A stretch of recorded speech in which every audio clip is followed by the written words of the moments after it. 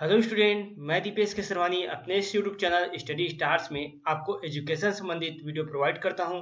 आज हम लोग देखने वाले हैं करेंट अफेयर्स, जो कि हम लोग डेली बेसिस में देखते हैं, डेली इंपॉर्टेंट करेंट अफेयर्स। तो आज है आपका 24 फरवरी 2020 तो हम लोग देखेंगे 24 फरवरी 2020 का करेंट अफेयर्स।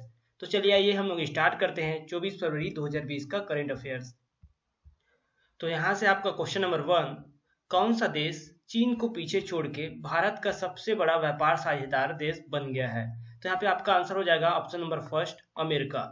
ठीक है? तो यहाँ पे देखिए आप 2019 में अप्रैल से दिसंबर माह के दौरान भारत का अमेरिका के साथ द्विपक्षीय व्यापार अड़सठ अरब डॉलर रहा और चीन के साथ द्विपक्षीय व्यापार चौसठ दशमलव नौ छह अरब डॉलर रहा है। तो इस तरह क्या है? अमेरिका जो है भारत का व्यापार साझेदार में पहले नंबर पे आ गया है। और बात करें हम लोग अमेरिका की तो अमेरिका के जो राष्ट्रपति डोनाल्ड ट्रंप है तो आज 24 तारीख को वो भारत आ रहे हैं 24 और 25 दो दिन की भारत के दौरे पे वो रहेंगे। चलिए, अगला प्रश्न देख लेते हैं हम लोग। क्वेश्चन नंबर सेकेंड है, रविवार को किस देश में पाँच दशमलव आठ की तीव्रता के भूकंप के झटके महसूस किए गए? तो यहाँ पे आंसर हो जाएगा आपका ऑप्शन नंबर सी, तुर्की में। तो देखिए, तुर्की में पाँच दशमलव आठ तीव्रता के भूकंप के झटके महसूस किए गए हैं। जिसके कारण वहाँ के त्रालीस गाँव प्रभावित हुए हैं और आठ लोगों की मृत्यु हो गई है। साथ ही आसपास के जो देश है, उसमें भी भूकंप के झटके महसूस किए गए हैं। चलिए अगला प्रश्न देखते हैं हम लोग।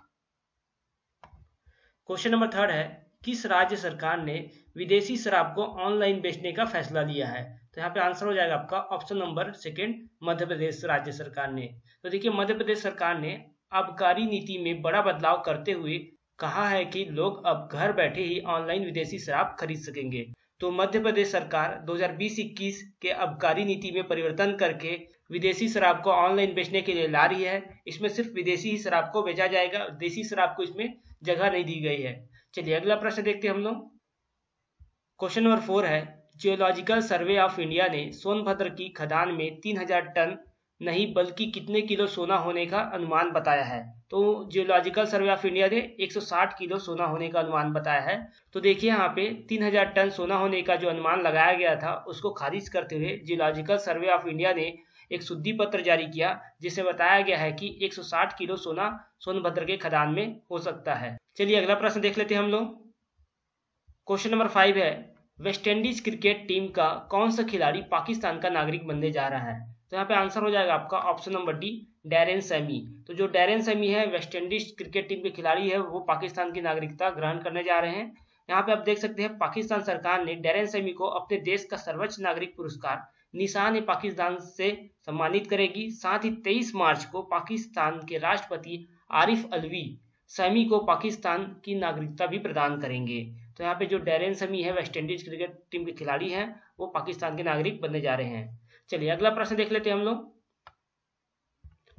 क्वेश्चन नंबर सिक्स है, इंडिज पर्वत पर सबसे कम उम्र में चढ़ने वाली भारत की बेटी है। कौन है तो वो? ये हो जाएगा आपका answer option number A Kamya Karthikeyan. तो देखिए आप यहाँ पे, काम्या कीर्ति के एन, जो कि सिर्फ़ 12 साल की है और सातवीं कक्षा में पढ़ती है, उसने इंडिज पर्वत की सबसे ऊँची चोटी एकांग गुआ जो कि 7000 मीटर ऊँची है, उसमें चढ़ने का कीर्तिमान रचा है। और इस बात की जानकारी प्रधानमंत्री नरेंद्र मोदी ने अपने रेडियो कार्यक्रम मन की बात में ज़िक्र किया है। चलिए, अगला प्रश्न देख लेते हैं हम लोग। तो यहाँ पे आपका कल का प्रश्न है, जो मैंने आपसे पूछा था।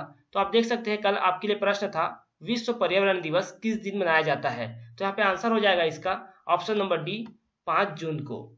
तो देखिए, यहाँ पे 21 मार्च को मनाया जाता है, वनिकी दिवस, विश्व वनिकी दिवस। 22 अप्रैल को विश्व पृथ्वी दिवस मनाया जाता है, एक मई को विश्व श्रमिक दिवस मनाया जाता है और पाँच जून को विश्व पर्यावरण दिवस मनाया जाता है।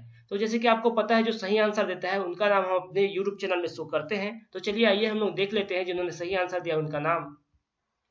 तो आप यहाँ पे देख सकते हैं जिन्होंने सबसे पहले आंसर दिया है वो है पूजा राजपूत, उसके बाद है रागनी सोनी, फिर है मदीश वर्मा, फिर है भूपेंद्र बंजारा, फिर है धर्मपाल साहू, फिर है रजनी राठौर, फिर है राजीव हलदार, तानिया गुप्ता, वीरेंद्र कुमार, अनिता यादव अनिल पंडित, अर्जुन चेलाम जगदेव कुमार सोनी, पीयूष कुमार वर्मा शाश्वत शर्मा, सतीश बैगा। तो इस तरह टोटल 16 लोगों ने सही आंसर दिया है। चलिए वापस चलते हम लोग वीडियो में। तो यहाँ पे आंसर हो जाएगा आपका ऑप्शन नंबर डी पाँच जून। चलिए आज का प्रश्न देख लेते हैं हम लोग। तो आज का प्रश्न है आप लोगों के लिए, किस महाद्वीप को अंध महाद्वीप के नाम से भी जाना जाता है? तो आपके ऑप्शन है एशिया, अफ्रीका, अंटार्कटिका और ऑस्ट्रेलिया। तो इसका सही आंसर आपको इसी वीडियो के नीचे कमेंट बॉक्स में देना है। अगर आप सही आंसर देते हैं तो आपका नाम नेक्स्ट करेंट अफेयर की वीडियो में शो किया जाएगा। और अगर आपको ये वीडियो पसंद आया तो इस वीडियो को आप लाइक करें। और अगर कोई नए स्टूडेंट इस चैनल पहली बार आया है तो चैनल को सब्सक्राइब करें। साथ ही साथ हमारे टेलीग्राम चैनल में जुड़ने के लिए नीचे डिस्क्रिप्शन बॉक्स में लिंक दिया गया है, वहाँ से आप ज्वाइन करें।